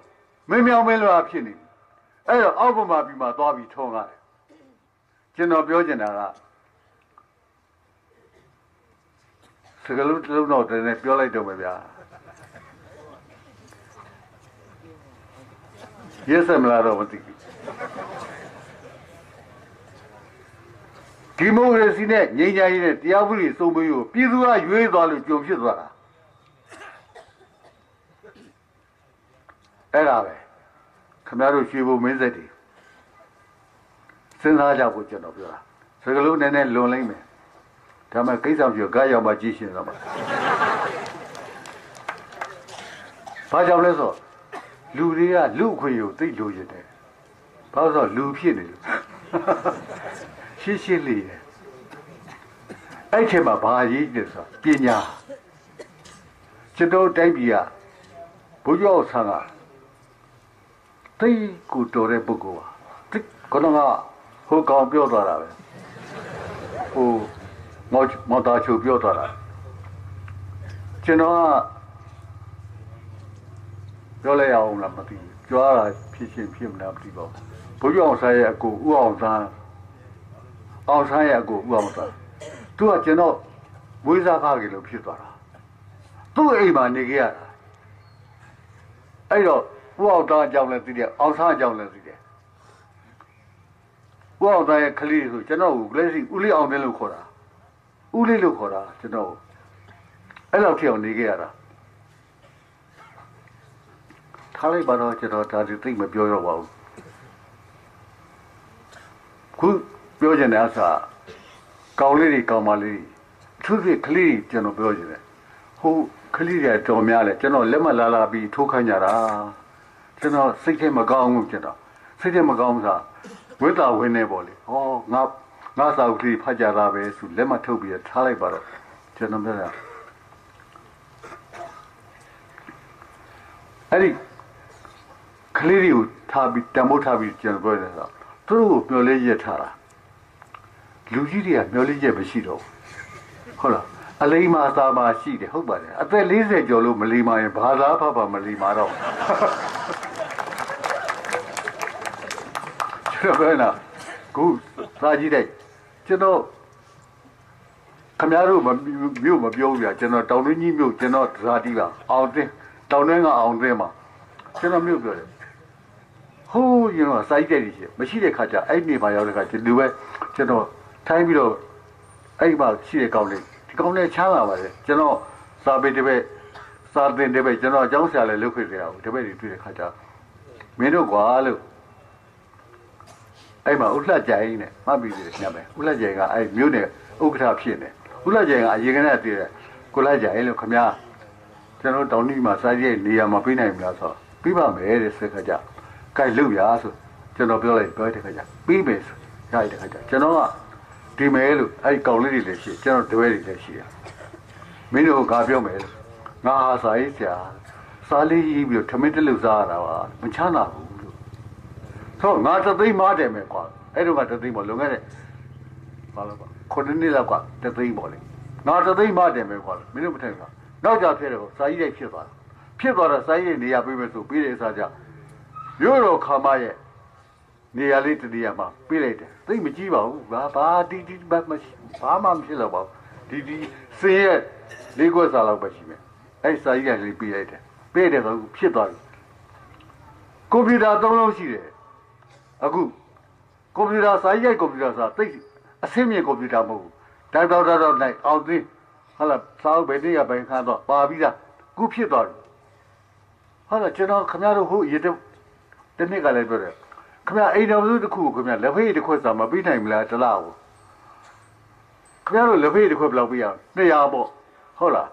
မပြီးနိုင်ဘူးလားဟာလူတွေကသိစိတ်ပြဖို့ကောင်းတယ်ကျွန်တော်ခင်ဗျားတို့ကြည့်ပြီလေခင်ဗျာညံ့နေ လက်ဖေးတစ်ခွက်စာတလား200မပြီးနိုင်ဘူးလားပြီးစမှာစာရေးတိုက်ဆိုတဲ့စာစာရေးတိုက်ဘူးရှိရတယ်စာရေးမှုမရှိလို့ချင်းဟာအောင်သင်းကစာရေးမှုပါညာစိနေဝန်ထမ်းလို့ပြီးလဲပြီးတော့အောင်သင်းကမိမရောက်တခြားရောပါတော့ပါသွားရဲ့ခါကျဒီမှာမရှိတော့ဘူးအဲ့စာအုပ်တွေကိုကိုကိုတာဝန်ကကိုတာဝန်ကိုရှိတဲ့ဘိတ်ပေါ်ဆက်တဲ့ပိုက်ဆံပေးထားတဲ့စာရေးတိုက်မှုရှိကိုရှိရမယ်မရှိရင်အဲ့စာရေးတိုက်ပြက်ပြီးသားအောင်ပြီးတော့ခရလှုပ်ဆမ်းပါ အဲ့ဒါနဲ့ပြောအောင်တောင်လေးကြီးအကြောင်းကိုပြောပြောတာကွယ်ရမှာပြောရတာဟိုမှာလည်းမပြောပါဘူးပေါ့တော့အဲ့ဒီကကာကြီးခါဝေးကြောက်နေရလေဟုတ်လားအဲ့ဒီဗျမြို့တော်ခါမိုင်းဆိုတော့မြို့တော်ခါမိုင်းရဲ့ခြေနားလေးတနေရာမှာပြလိုက်တယ်အဲ့ဒါကျွန်တော်တငယ်ချင်းကိုလက်ကြိုင်ကပေးခဲ့တဲ့ဥစ္စာအဲ့ဒီဥစ္စာကိုနောက်ရောက်လာတဲ့ဥစ္စာအခုရှိမှာပေါ့ တော်ကြပြုတ်တော့မှာဘာသူဟာသူဒါတွေကသူတို့ကသူတို့ကခဏယာယီတွေယာယီတွေပါသူတို့ကသူကပြောတယ်တဲ့ဟာဒီစာရိုက်ကိုဗျာမြို့တော်ခမ်းမဲ့ရှိမှာထားတယ်ကျုပ်သာရှိမပေးဘူးလို့ပြောတယ်ဟာကျုပ်ဒေါသဖြစ်တာဆိုသူတို့ကမြို့တော်ခမ်းမှာဆိုတာယူကိုအကြီးကြီးဆောက်တယ်ဆောက်ပြီးတော့မှအဲ့ထက်မှာပေါ်ပြီးတော့ကျွန်တော်ဟာအားလုံးဒီနေ့ပြောစားဟာအဲ့ဒါကိုပြီးကျင်တာဓမ္မယုံကိုကိုပြီးတယ်ဗျာဓမ္မယုံဘာဖြစ်တော့ ဟာနားကြီးတာပဲရှိတယ်ပဋ္ဌာန်းနေဖွင့်ပြီးတော့တခါတစ်မျိုးလုံးနားကြီးနေတာ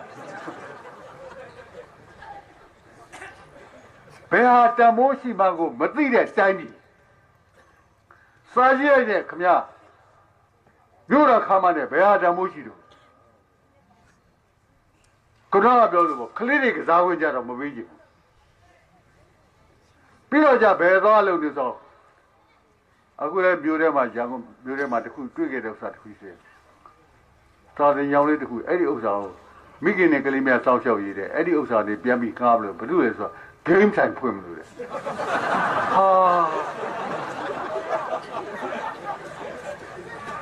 ဟုတ်လားဒီကြောင်းတဲ့ခမရ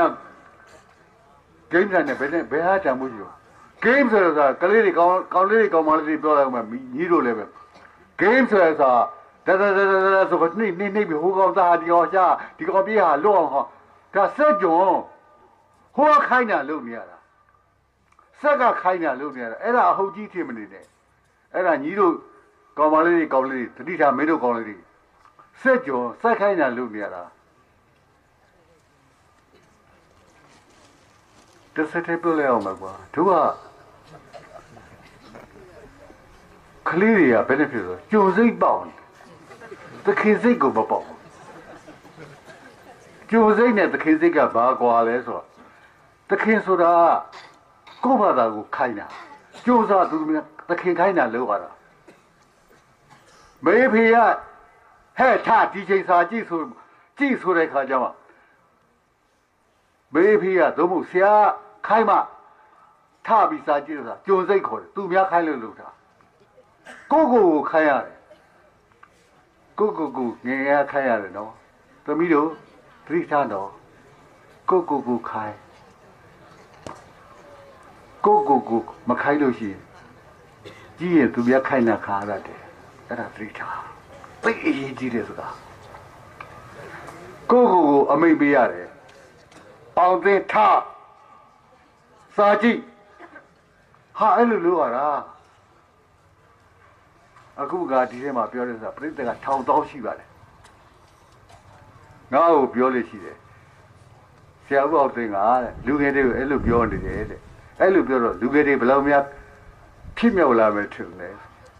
ငါပြန်ပြောတာပြောရမလားကျွန်တော်မပြောလိမ့်ဘူးလို့ဒါမှတခုရှိတယ်တော့လို့အဲ့ဒီကောင်ကမဂ္ဂဇင်းထုတ်တယ်ကောင်ခင်ဗျားတို့မဂ္ဂဇင်း တက်တောင်းကုန်လားလို့ဘယ်ကုန်လဲမလဲတက်တောင်းဗမာပြည်မှာလူကြီးဘယ်လောက်ရှိလဲ52တန်းရှိတယ်တော့လို့ကျုပ်ကခင်ဗျာလူတရားမှာတယောက်ပုတ်ဘူးတော့လူတစ်ထောင်မှာတယောက်ထွက်လို့ရှိရင်အများလို့ဘာလို့ဆိုလောကကြီးကိုပြောင်းလဲသွားတဲ့စားလူ9ယောက်လောက်နဲ့ပြောင်းလဲသွားတာတော့ဟုတ်ဘူးလား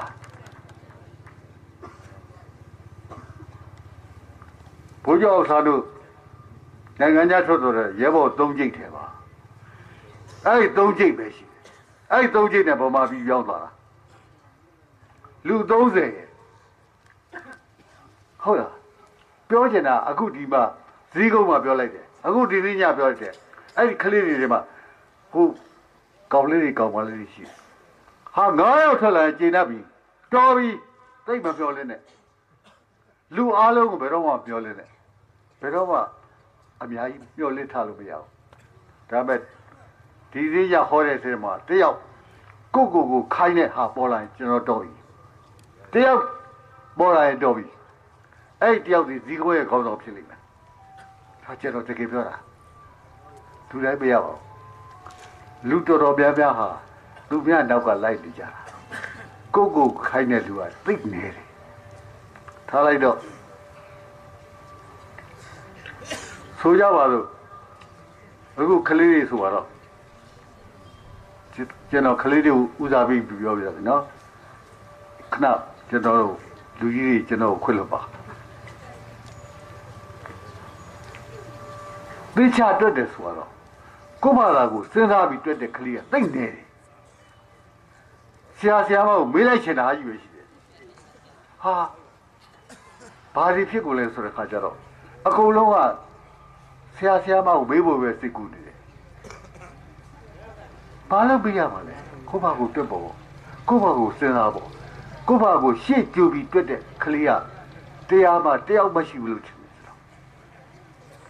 ပြကြတကယ်မလို့ကြည့်ကြဘူးဟိုအရင်နှစ်ကခုနက TV ဖွင့်ပြတဲ့ခါကျတော့ပြပြီးတော့ပေါ့လေဗီဒီယိုဖွင့်ပြတဲ့ခါကျကျွန်တော် ပြောခဲ့တဲ့ဥစ္စာတွေပြတွေ့ရတယ်တွေ့တဲ့ခါကျဟာကာတော်တော်ရှိစောနေပါလားလို့ကျွန်တော်အောက်မိမိတယ်တော်တော်ကိုကျွန်တော်ပြောခဲ့တာပဲအခုလည်းပဲကျွန်တော်ပြောအောင်ပါ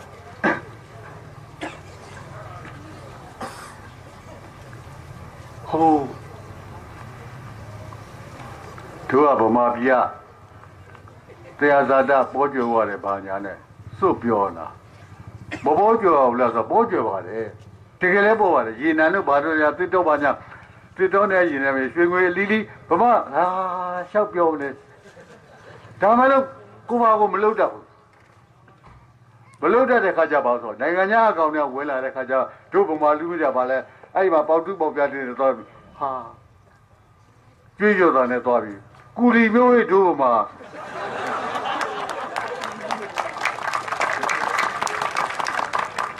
တိုင်းပြဘူးလို့ သမိုင်းနဲ့မကဘူးပထူပါပြက်နေဘာလို့အေယာဝရီမြစ်တောင်ဘယ်သားစီးရမှာမသိပဲဖြစ်ခဟုတ်လားဟိုနာရွှေတူးလိုက်ဒီနာရွှေတူးလိုက်နဲ့ဟိုမြစ်ကပဲစီးရမှာမသိပဲဖြစ်တယ်တကယ်ကြည့်ခွဲစရာပါ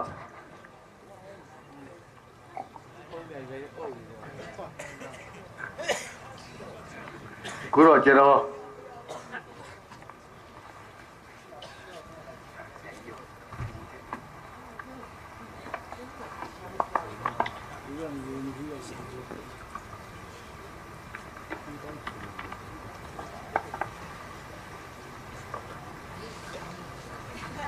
ပြောချင်တာ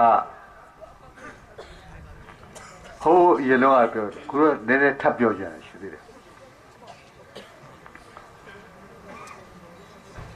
အထူးသဖြင့်ကလေးတွေသိထားလူကြီးတွေကိုတိတ်ပြောကြမလို့ကလေးတွေကိုပြောချင်တာအဲ့ဒါပြောချင်တာဘာလဲဆိုတော့ငါ community တင်တဲ့နေ socialist တင်တဲ့နေတက်ခဲ့ဦးတယ်မတ်ဆွာရာတွေ တင်တဲ့နေတက်ခဲ့ဦးတယ်ငယ်ငယ်ရှိပါတယ်ဟို later teen ခေါ်တာပေါ့နော်ဆက်ခုဆက်ချစ်လောက်ပေါ့အဲ့လောက်မှတက်ခဲ့တာအဲ့ဒီမှာတင်တဲ့တက်ခဲ့တဲ့ထဲမှာဆွဲနေတဲ့ equation ခေါ်တာပေါ့ညီမရင်ကိန်းနဲ့လေးတစ်ခုကြံရခဲ့တယ်အဲ့ဒါကုရစီဆွဲတယ်ကြိုက်လဲကြိုက်တယ်အဲ့ဒါဘာလဲဆိုတော့သဘာဝအပေါင်း လူအားညီမရင်တမှုအင်္ဂလိပ်လို့ဆိုလို့ရှိရင် nature plus labor power is equal to value တဲ့သဘာဝနဲ့လူအားနဲ့ပေါင်းမှတန်ဖိုးဖြစ်တယ်ဥပမာဆိုတော့အကုန်လုံးဟာသဘာဝကြီးပဲဒီဒီသဘာဝဒီတိုင်းအဲ့ဒါကိုလောအားနဲ့ပေါင်းလိုက်မှတန်ဖိုးဖြစ်တယ်ဆိုတဲ့ခါကျတော့ ဥပမာဆိုတော့ကွယ်သဘောကရှော့လဲရဲသွားခွာရတယ်အဲ့ရှုပ်ကိုလောက်စာလုံးလိုက်ရင်ရှုပ်ကဘာမှမပြည့်အောင်တဲခွာလာခဲ့ရုံဒါပေမဲ့လောက်စာလုံးလိုက်တော့လောက်စလုံးတရားကိုဘလောက်ဖြစ်သွားတယ်ဟာအဲ့ဒါကိုဥပုပ်လုံးလိုက်လို့ရှိရင်ဥပုပ်ရဲ့တံပိုးကလောက်စလုံးနဲ့တံပိုးရှိတယ်အဲ့ဒီဥပုပ်ကိုပါကတုတ်ကလေးတွေခြံလိုက်လို့ရှိရင် ထွန်းလိုက်လို့ရှိရင်အယုတ်ကလေးတွေလုံးလိုက်လို့ရှိရင်ထည့်ပေးလိုက်ရင်ပိုးတံပိုးပြည့်သွားတယ်အဲ့မှာသူပြောတဲ့ဥစ္စာ if nature is cancelled တဲ့အင်္ဂလိပ်တော့ဗမာလိုတော့ဖြစ်အဲ့ဒီသဘောဝသည်အလကားရတာဟုတ်တယ်လေခုအောက်သေးစကားပြောတာဒီတိုင်းလေနဲ့ပြောတာဟုတ်လားလေအလကားရတာမင်းအသက်ရှိနေတယ်ပိုက်ဆံပေးရလို့လားရှူလိုက်ကြိုက်တယ်လို့ရှူဟုတ်လားဒါပေမဲ့လို့မင်း ဘောတကားဝါရှော့မှာတွားပြီးတော့မင်းဘောတကားလေထိုးတဲ့ခါကျတော့ခင်ဗျလေပဲဗျာအလကားရတာပဲလို့ပြောဟိုကောပါရိုက်လို့ဟုတ်လားသစ္စာကြည့်ပါအဲ့တော့ပြန်ပြောတဘာဝအပေါင်းလူအားဒီမြရေးတက်ဖို့အဲ့ဒီမှာတဘာဝတွေအလကားရတာဒါကြောင့်ဘလို့လူအားဒီတယ်လေတတ်ဖို့တဲ့အဲ့ဒီလူအားဒီတယ်လေတတ်ဖို့ဖြစ်တဲ့ကြောင့်ဘလို့ အဲ့ဒီလူအားကိုထုတ်ပြီးတဲ့အလုသမားသာလဲလုတ်တဲ့သူသာလဲဒီတမ်းဖို့ရလိုက်တယ်အဲ့ဒါမတ်ဝါဒရဲ့တော်လိုင်းကြီးပောက်ကွဲလာတဲ့ပထမဆုံးဒီမြရဲ့ကိန်းတယ်မယ်ဗျာသို့တော်လည်းပဲအရေးရှင်တို့တနာရှင်တို့ပညာရှင်တို့ဆိုတဲ့သူတွေရဲ့လုတ်အားကိုရှော့တက်တဲ့အတွက်ကြောင့်ပို့လို့ကွန်မြူနတီဝါဒကြီးဟာဒီလောက်ထိအောင်မအောင်မြင်မဲနဲ့ကြာဆုံးသွားတယ်လို့ငါယူဆတယ်ဒါပေမဲ့လက်ခံချက်ခံမခံချက်ဒါကိုဘာကိုစဉ်းစားကြ ဒါမဲ့ငါပြောချင်တာကအဲ့ဒါကိုပြောချင်တာဗရဏပြောချင်တဲ့ဥစ္စာကောင်းလေးတွေကောင်းပါလေးတွေပြောချင်တာဘာလဲဆိုတော့မင်းမွေးလာတော့ကဘာထူးလို့လဲအတူတူပဲဘာပါလာလို့လဲဘာမှပေါ့အတူတူကြီးပဲမင်းမှာဘာတန်ဖိုးပါလာလဲဘာမှမပါဘူးအတူတူကြီးပဲရွှေလင်မနဲ့အချင်းစိတ်မေးပွေးတဲ့မေသွေဆိုသူ ဝရိမြမှာတွေ့ရဖွာလို့တရားမင်းနဲ့ဂုံပြရင်သူတင်းလဲပဲလူကြပြေအောက်မှာအုပ်ဖို့နောင်နဲ့ဆနွန်းတော်ကိုမျိုးသူမြေပြင်းနားမှာကိုပြည့်ကြတဲ့ဘန်းစုံနဲ့မွေထုတ်လိုက်သူတင်းလဲပဲလူဟိုရင်းဒီရင်ဘယ်သူမှနှခါအပူမပါသာသူချီနှချောင်းလက်နှချောင်းကောင်းလေးကအလဲမာပြူဘဘယ်သူပဲဘယ်ဝါပဲလူတွေကဆောချုပ်လိုက်တဲ့လူတိုင်းပြည်တိုင်းကတော်ကို အုပ်ချုပ်သူဘုံယုံကြည်လဲကျုံလိုလူအားလုံးတူတူထားပါခမရလဲလူခမရတူမှာဖယားမထူပါအင်္ဂလိပ်ပိုလန်ဂျာမန်ရုရှားလူဘယင်ကကြီးလဲခမရလိုကျုပ်လိုလူမွေးစဉ်ခါအားလုံးအတူတူဟာ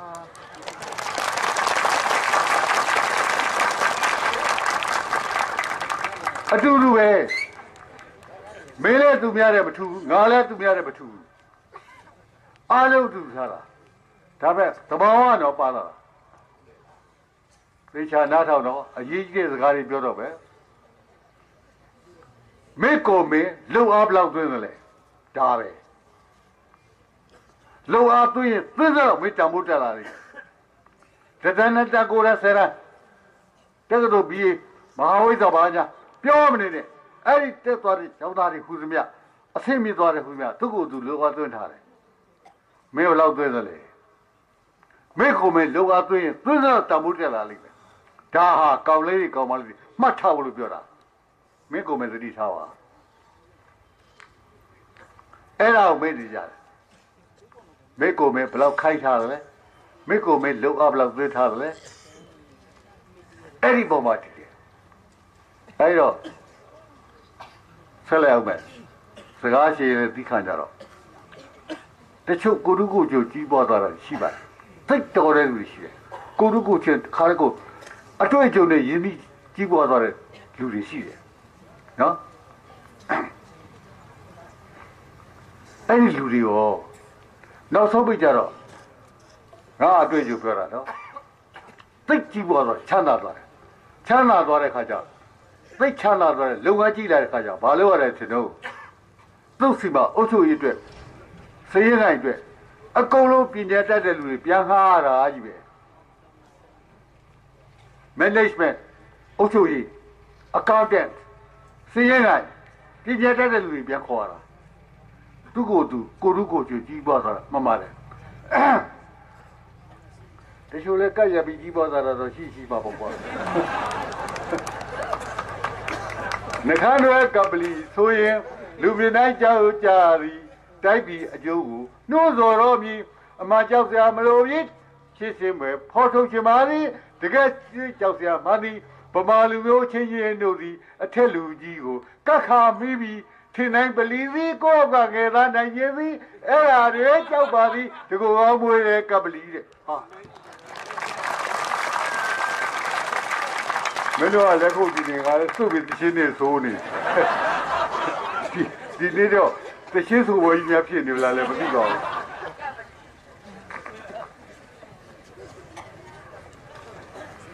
အဲ့ဒီကပလီတွေရှိရှိပါပေါ့ကွာဒါထားရတော့ပြောရလားအဲ့ဒါတွေတွက်မနေနဲ့မင်းတကယ်တော်ကျင်သလား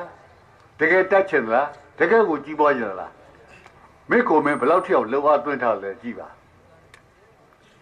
ဘယ်လောက်စာဖတ်တယ်လဲဟိုအရင်နှစ်ကလည်းပြောခဲ့တဲ့ဥစ္စာတွေပါသေးတယ်ဟုတ်လားတခုရှိတဲ့ဥစ္စာပြန်အဲ့ဒါလေးနဲ့ပြန်ကောက်လိုက်ဦးမယ်မင်းပညာသင်နေဆိုတာဘာလဲဆိုတော့ဆိုလဲအရင်ကပြောခဲ့ပြီဘူးလေထပ်ပြောဦးမယ်ပညာသင်နေဆိုတာပညာလက်ဆင့်ကမ်းတာဟုတ်လားဟိုဟာပညာသင်နေဆိုတာတိရစ္ဆာန်တွေအစသင်နေဆိုတော့ဆိုတာရှိပါဦးကွာ လူနဲ့ဟိုတိရစ္ဆာန်တွေမှာလူကတိရစ္ဆာန်နဲ့ဟာတာတဲ့ဥစ္စာ၃မျိုးပဲရှိတယ်ဆိုတာပြောခဲ့တယ်လူရဲ့တိရစ္ဆာန်တွေမှာတိရစ္ဆာန်ကလူရဲ့သားတာတွေအများကြီးရှိတယ်ဟဲ့တော့လူကတာတယ်လို့ထင်တယ်မဟုတ်ဘူးတိရစ္ဆာန်ကတာတာတွေမြမင်းမြင်လောက်ပြီးကြလို့လားငါလောက်ရေကူးနိုင်လို့လားမင်းစဉ်းစားကြည့်လေဆင်းလောက်အားကြီးလို့လားဟုတ်လားပြတ်ပြက်ကြည့်ပေါ့ ဟာမြင်းလောက်ပြင်းမလားငါလောက်ရေမကူးနိုင်ဘူးဟုတ်လားဟာလူအဖြစ်စီလို့ဖို့ကောင်းပါလေကျွန်တော်အစည်းအဝေးနဲ့ဘာညာနဲ့ဥက္ကဋ္ဌနဲ့ဘာပတိနဲ့ဘာနဲ့ညာနဲ့မလုံးနဲ့ပြားလောက်မကောင်းဘူးဟုတ်လားပြားပြားတွေရဲ့စီလုံးမှုကတိတ်ကြီးတာစိတ်ကောင်းတာဟုတ်လားဟိုပြားတော့ငါပြန်သွားတယ်ဟိုဘက်မှာပန်းတော်ကြီးတွေ့တယ်ဆိုပြန်လာပြီးတော့သတင်းပို့တာသတင်းပို့တဲ့ဥစ္စာတို့လူလူလို့တော့ဟိုကအနောက်ဘက်မှာပန်းတော်ကြီးတစ်ခုတွေ့တယ်ဆိုတော့ပြန်လာပြန်လာတဲ့အခါ ပန်းတော်ကြီးတစ်ခုတွေ့ဝိနေပြီရိအနေတော့ဟောအဲ့လိုတော့မလုပ်ဘူးပေါ့ဟုတ်လားအဲ့လိုတော့သတင်းမပို့ဘူးပေါ့အဲ့ပြောင်းကိုလှည့်ပါပြီးပြန်တာပြန်တဲ့ဥစ္စာဒီဒီဒီဒီဒီနဲ့ပြန်တယ်တော့အဲ့ပြန်တဲ့ဥစ္စာဘယ်လောက်ပါလဲဆိုတော့တမိုင်ဝဲလို့ရှိရင်ဒီမှာတမိုင်လှည့်ပါပြီးပြန်နေတာအဲ့ပြန်တဲ့ဥစ္စာကြည့်ပြီးတော့မှကျန်တဲ့ပြားတွေကဟောက်ကောင်းသတင်းပို့ပြီးဆိုတော့သိတယ်ပြီးတော့မှအဲ့အနောက်ဘက်မှာရှိအနောက်ဘက်ကနေပြောင်းနေရိဆိုတော့အနောက်စူးစူးမှာသူဝင်တဲ့အရက်မှာဘာတော့ရှိတယ် ကျန်တဲ့အဲ့ကြမှာကျန်တဲ့ပြားတွေကအကုန်လုံးခြိတက်သွားတာအပြန်ပြန်လာကွယ်သွားသွားသွားတော့မိုင်းဝမ်းနဲ့ဖောက်ကြပါလေကုန်ဆိုတော့အဲ့ဒီဝီကြီးလို့ပြောအဲ့ဒီပြားဝီကြီးကိုယူတာပြားအောင်တယ်အကုန်ထည့်ပေးတာဘယ်ပြားရမှာပဲပေါက်ခိုးသေးသွားပြီပြားကြီးမရောက်ဘူးဟုတ်လားသူတို့စီလို့ဘုကလောက်ကောင်းတော့ဆိုတို့မသားဘူးမပြီးဘူးဟုတ်လားပြောချင်တာက တိရစ္ဆာန်ကလူတဲ့သားရာတွေအများကြီးရှိတယ်လို့ငါပြောချင်တာပါ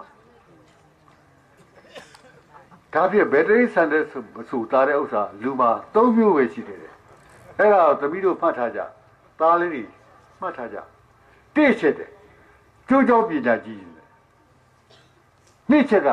ကိုကျင်တရားရှိခြင်းတယ်သုံးချက်ကအလှပကိုပြန်လို့ရခြင်းတယ် ကျိုးကြောပညာကြီးခြင်းဆိုတာခုထားလိုက်တော့ပြီးတော့ဆက်ပြောပါကိုကျင်တရားရှိခြင်းအဲ့တရိစ္ဆာန်မှာကိုကျင်တရားရဲ့လို့ဘာလို့မရှိဘူးသူအဒီသူစားရရှိတယ်တမေမတကောင်ကိုကြိုက်စားစားစားရတာပဲ။အော်ဒီတမကြီးစားလိုက်ပြီသူသားလေးတွေမိဆိုမိတဆိုးပြရောပဲဒါသူကိစ္စမဟုတ်ဘူး။စားစားပြီးတော့ဝါပြီးထားပြခဲ့တာ။ပြီးရောကျန်တဲ့ဥစ္စာလာစားစားခွေးဆွဲဆွဲလှည့်မကြည့်တော့ အဲလူတစ်မျိုးပဲကိုစားလို့ဝါရတဲ့နဲ့လေသူများစားတာမကြိုက်ဘူးဗျာ။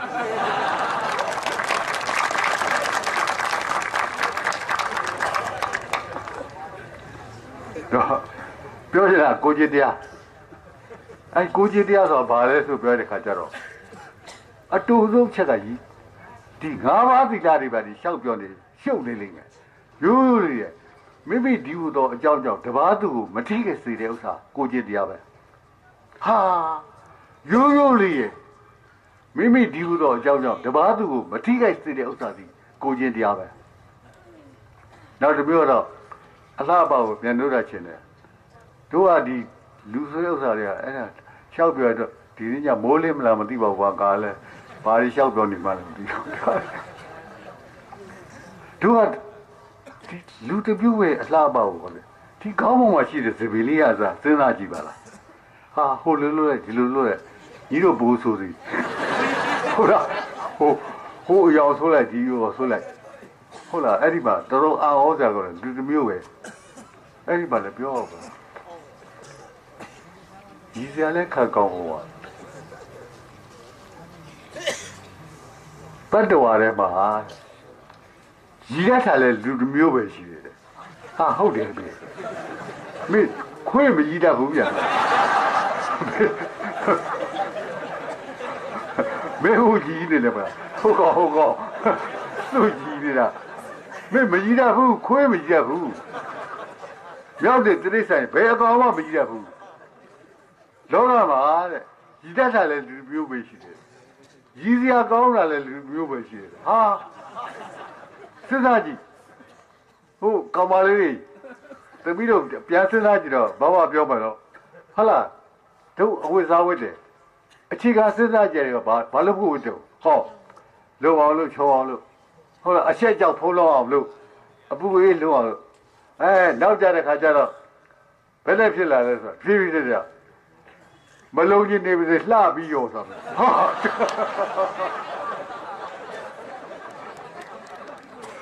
အခုဘော်ဒယ်တွေမင်းတို့တွေ့ပါပေါ့ မလုံဘူးအဲ့မလုံတဲ့ဥစ္စာဘူးဟာအဲ့ဒီဥစ္စာပိုက်ဆံပေးကြည့်နေရ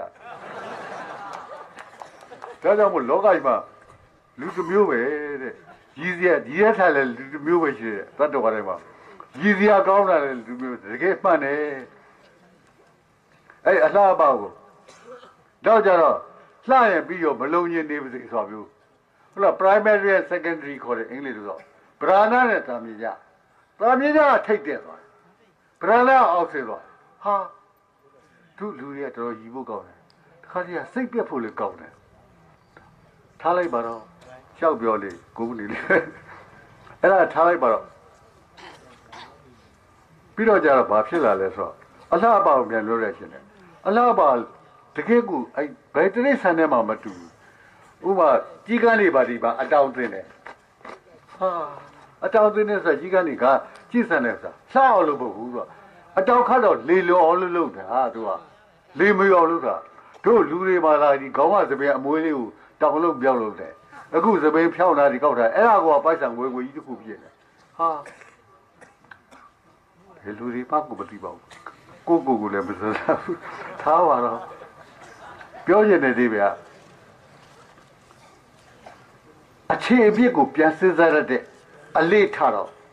သတိထားရမယ်ဘာကြောင့်ငါလုတ်တယ်လေဆိုအခြေအပြစ်ကိုစဉ်းစားရတဲ့ညင်လေးပါအောင်တော့ပြန်သတိထားအောင်ရိုးလေးစဉ်းစားရဖို့လို့ဒါမှလှတဲ့ဥစ္စာကိုမကြိုက်ဘူးလားဆိုတို့ကဒီပြမပြောနဲ့ကွာငါဟိုရန်ကုန်မြို့အလုံထဲမှာကနေခဲ့ပြီးတဲ့ဌာနလမ်းထဲမှာအဲ့မှာကော်တော်ကဒီဘာလို့ထားလဲဆိုတော့တာမယာကြီးရောက်တာအဲ့တာမယာကြီးရောက်တဲ့ကိစ္စကိုသူက ရုပ်ပြီးရှိရလဲတာမယာကြီးအလုံး90လောက်နောက်ကချင်းနဲ့အလုံး90လောက်အဲ့ဒါကိုချင်းလေးနဲ့ထည့်ရောက်တာသူကရောက်ဖို့ရောက်တယ်ဆိုဘယ်လိုရောက်နေလဲတမယာစီတမယာစီတမယာစီတလုံးငါးဗျာဆယ်ပြဖို့သုံးလို့ဝဲကြီးဝဲလိုက်မဝဲကြီးနေကြအဝေးကြီးရောက်မှမခေါ်နဲ့ပြန်မလာတော့ဘူးတဲ့ဟာငါအဲ့ဒီကောင်မတမယာစီပွဲနေရတယ် စဉ်းစားကြည့်ပဲတမယာစီတလုံးငါးဗျာဆယ်ပြဖို့သုံးလို့ဝဲကြီးဝဲမဝဲကြီးနေအဝေးရောက်မှမခေါ်နဲ့ပြန်မလာတော့ဆိုဟာဘာတော့ဟာ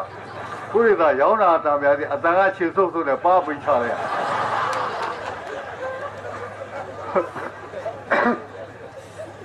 ဒါပဲအဲ့လိုပုံသူကတမယာသည်တမယာသည်တမယာသည်တလုံးငါးဗျာ ဆယ်ပြားဖို့သုံးလို့ဝဲကြီးဝဲလိုက်မဝဲကြီးနေကြအဝေးရောက်မှမခေါ်နဲ့ပြန်မလာတော့ဘူးဟာအဲ့ဒါသဘောကျတယ်ဒီအလားပါခက်ဘူးလားပြောတာအဲ့ဒီအလှပကိုတမိုးထရတာမျက်နှုတ်ထတာလူမျိုးပဲရှိတယ်တဲ့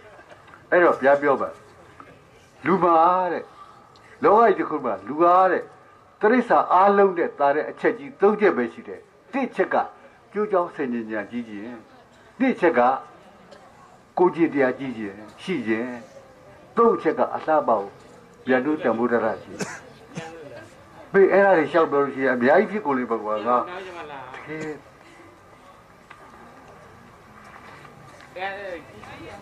ဆက်တတာကြီးလဲခွဲကလိမ့်ဟိုတောင်လွဲကအောင်စင်းကသကောင်ချင်းကမှလျှောက်ပြောလို့ဖြစ်သေးတယ် ကဲထားလိုက်ပါတော့အဲ့ထဲမှာ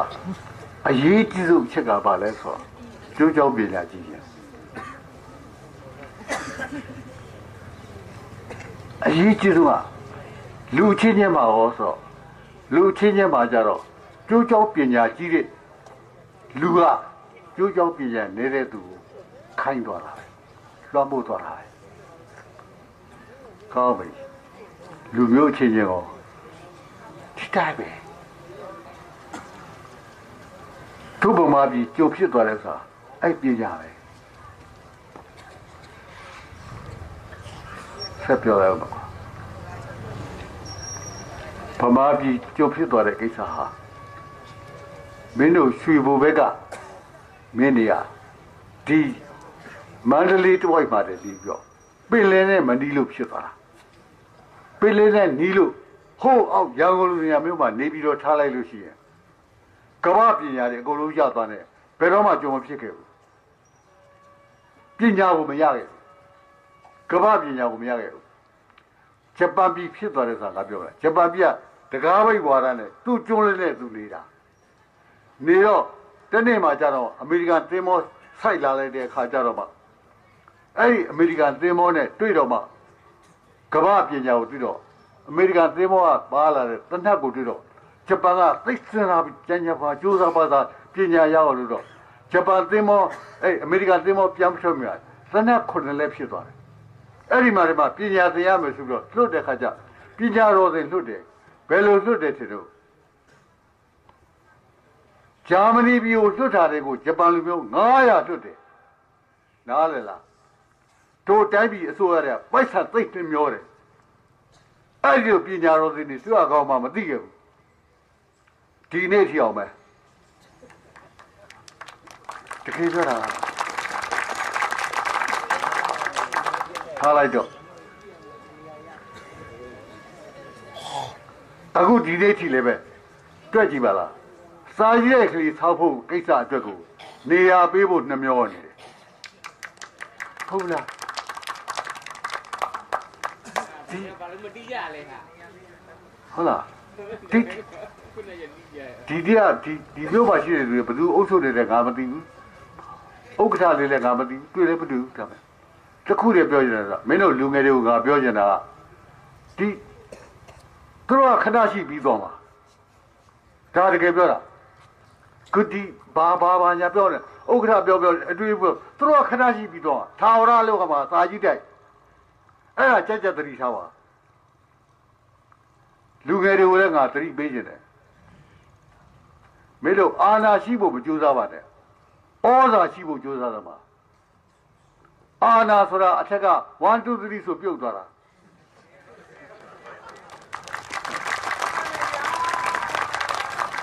ဆရာကြီးတခုကိုတော့ဘိုက်တစ်ခါမှအာနာမရှိခဲ့ဘူး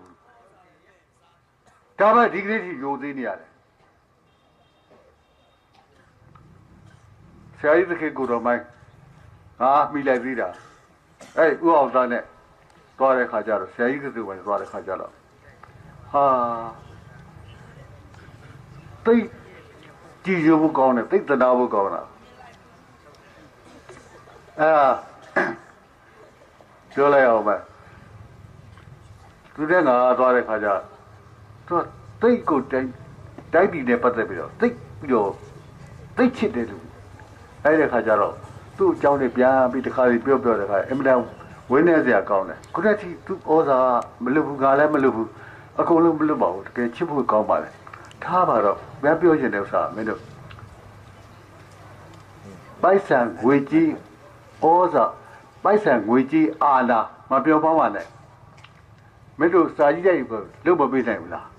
ဟုတ်အရင်နှစ်ကလည်းငါပြောခဲ့တယ်တိအိမ်တော်ကိုမင်းလက်ဖေးတစ်ခွက်ဘူးတစ်လားမပေးနိုင်ဘူးလား တော့ပြီးတော့စာကြီးတိုက်ထောက်ပြီးဆိုရှင်ပြောအောင်ငါလုတ်ခဲ့တဲ့ဥစ္စာအောင်မြင်တဲ့နေရာကြီးအတွက်ကိုသာရကထားပြီးတကယ်ပြောတာနော်